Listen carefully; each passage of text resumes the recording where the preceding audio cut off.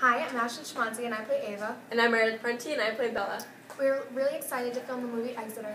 However, in order to do this, we need funds, so if you would be willing to donate, that'd be greatly appreciated.